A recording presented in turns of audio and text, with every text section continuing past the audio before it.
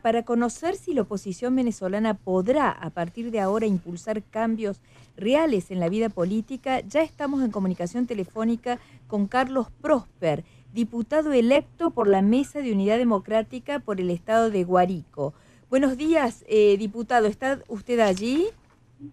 Sí, buenos días. Buenos días. Un abrazo desde Venezuela. Gracias, muchas gracias por esta comunicación con la 1110. Y bueno, uno de los grandes proyectos de su partido es tratar en el Congreso un referéndum revocatorio para destituir a Maduro una ley que incluso aparentemente está prevista en la propia constitución bolivariana, la que justamente impulsó eh, Chávez. ¿Usted cree que puede pasar esta ley si se aprueba y cuál puede ser realmente la reacción de Maduro para que esto no suceda? No, bueno, fíjate, nosotros hemos dicho, debo decirles que hace dos días, específicamente el día viernes, estuvimos una reunión en Caracas, los 112 diputados recién electos, eh, que conformaremos la nueva Asamblea Nacional a partir del 5 de enero del año 2016. Y importante señalar que nuestra prioridad, hemos dicho, es una ley de amnistía, una ley de amnistía para la liberación de todos nuestros presos, perseguidos y exiliados políticos, que veíamos decir al presidente de la República que él no iba a firmar una ley habilitante. Bueno, nosotros, la Constitución de la República Bolivariana de Venezuela, en su artículo 187, nos establece lo que corresponde a la Asamblea Nacional. Y dentro de eso dice decretar amnistía. Nosotros eh, tenemos ese compromiso, es nuestra prioridad eh, eh, apenas arranquemos nuestra, la, nueva Asamblea Nacional. debo decir también que hemos de manera unánime entre los 112 diputados tomado decisiones como por ejemplo eh, eh, aquí en Venezuela el gobierno ha llevado adelante una ley o una entrega de viviendas a través de la misión vivienda y lo cual hemos dicho, yo soy abogado, que la misma uno solo o las personas que le adjudican la vivienda solo tienen uso, goce y disfrute.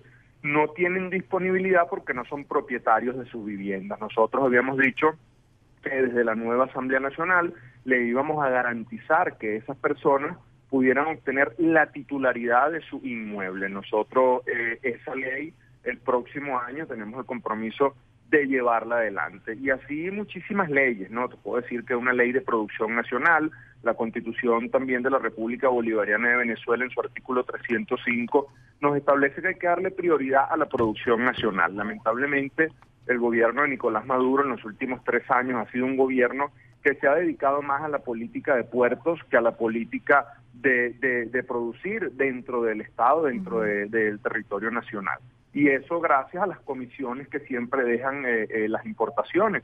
Nosotros eh, hemos dicho que hay que darle prioridad a que se pueda empezar a producir en Venezuela, que pueda haber una apertura económica donde diferentes empresarios que han decidido no invertir en Venezuela puedan venir a Venezuela a invertir porque se les garantizará desde la Asamblea Nacional que se respete la propiedad y la tenencia de cada una de esas personas.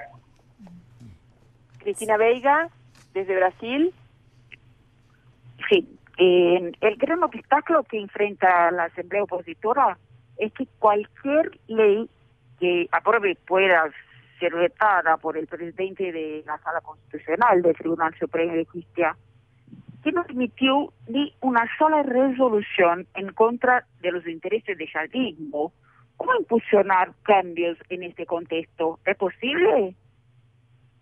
Claro, no es posible porque la Asamblea Nacional eh, eh, eh, así lo establece, ¿no? Y de hecho debemos decir algo que ha estado en el tapete y es el tema, yo actualmente soy diputado suplente a la Asamblea Nacional en Venezuela y me tocó estar justamente en la designación de los poderes, pero a mí me tocó lo que fue la parte en la comisión de, elegir el poder ciudadano, donde está el defensor del pueblo, eh, la fiscal y el, y el contralor general.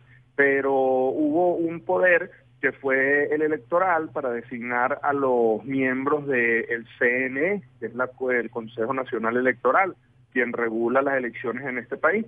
Eh, ellos como no tenían las dos terceras las dos terceras partes agarraron y se fueron al TSJ y designaron de manera transitoria este CNE. Eso con las dos terceras partes que hoy en día la tenemos, que son 112 diputados, eh, tiene que ser inmediatamente revisado a profundidad porque tienen que eh, eh, designarse unos nuevos rectores del CNE y del Consejo Nacional Electoral. Y otro, otro, otra cosa que hemos tenido, otra facultad que tenemos ahora con las dos terceras partes, es que podemos interpelar al ciudadano vicepresidente de la República, que en los últimos cinco años no le ha rendido cuenta al gobierno o al país, a los venezolanos. Los ciudadanos ministros no van a la Asamblea Nacional a dar una rendición de cuenta, nosotros tenemos esa facultad y con un voto de censura de las dos terceras partes, inmediatamente tiene que ser destituido de su cargo el presidente o los ministros. Pero nosotros debemos decir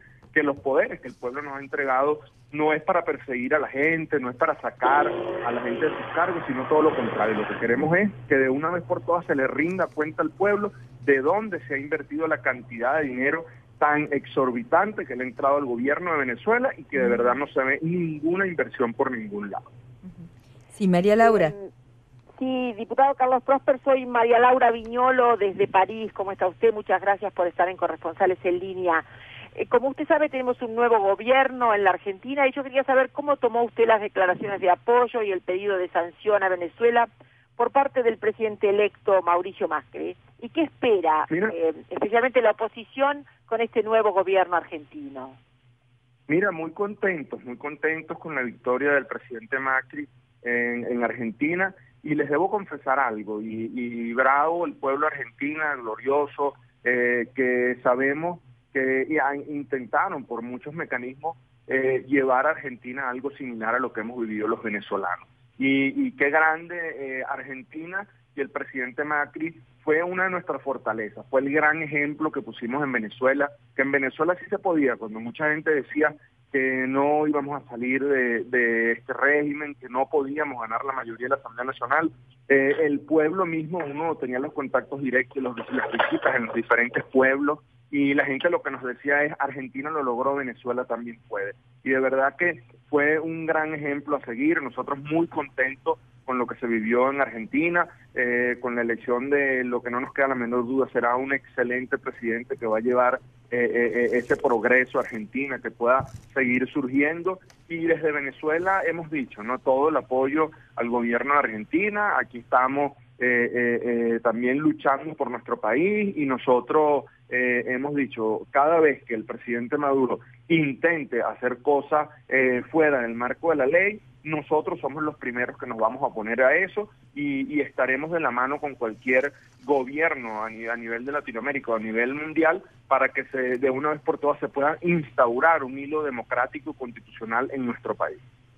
Ahora, diputado Macri eh, primero prometió que se aplicara la cláusula democrática del Mercosur sobre Venezuela y después la retiró. ¿Usted está de acuerdo con esto? ¿Fue una desilusión? ¿Ustedes esperaban que eso se mantuviera mientras Maduro estuviera en el poder o no? Bueno, bueno, fíjate, nosotros ahí te debemos decir que eh, eh, obviamente en inicio habíamos dicho que eh, lo que había prometido el presidente Macri tenía que llevarse adelante.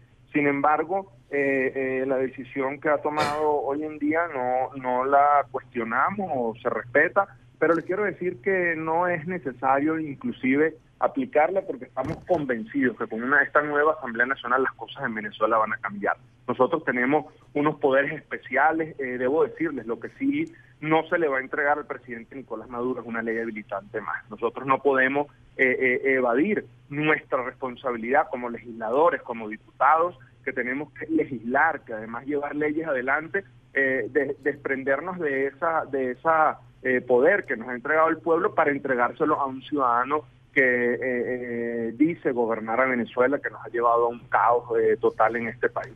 Pero nosotros estamos convencidos que desde la Asamblea Nacional vamos a iniciar una gran transformación. Lo decíamos también, nosotros arrancamos desde ya, desde mañana lunes, una nueva campaña, pero una nueva campaña de labor social. Nosotros vamos a ir a donde los más desprotegidos, los que nunca fueron oídos, y nosotros vamos a buscar con ellos, con esa gente de una u otra manera creía en el gobierno del presidente Chávez y que ese legado que supuestamente decía Chávez que había llevado adelante, el primero que lo traicionó fue el presidente Maduro. Nosotros desde aquí vamos a llegar a esos sectores a llevar una labor social, una labor social de ser servidores públicos y el 5 de enero del año 2016 se podrán acordar de esta tierra tan noble, tan generosa como lo es Venezuela, vamos a empezar una reconstrucción de este país, porque no nos queda la menor duda que dentro de la Constitución tenemos las herramientas necesarias y el poder que nos otorgó el pueblo con la nueva Asamblea Nacional para que Venezuela pueda salir adelante. Bueno, eh, diputado, ¿y cuáles son las diferencias entre Nicolás Maduro y Hugo Chávez? Wow, muchísimas, muchísimas, y creo que dentro de ellas Hugo Chávez tenía donde mando. Nicolás Maduro no tiene absolutamente donde mando de ningún tipo, porque yo estoy convencido que ni siquiera en su casa manda, porque pareciera que la primera combatiente es la que toma decisiones en ese país. Y, tan complaciente que ustedes saben el escándalo conocido eh, por todo el mundo con los sobrinos de la primera dama de la República, por cierto, electa hoy en día diputada a la Asamblea Nacional, eh, donde presuntamente sus dos sobrinos están implicados en, eh, tráfico de drogas, están en tribunal dentro de los Estados Unidos, hoy en día eh, eh, llevando un juicio adelante. Y bueno, de parte de ellos ni siquiera un paro o, un mensaje del ciudadano presidente o la primera dama. Y así sucesivamente, ¿no? Aquí eh, el pueblo lo sabe, son cosas totalmente diferentes y son estilos diferentes y nosotros hemos dicho que para nadie es un secreto, toda copia es chimba, todo lo que intentan ser igual a esa persona siempre queda mal. Las personas aquí son únicas y aquí no hay eh, ninguna fotocopia en ningún lado. De verdad que es totalmente diferente.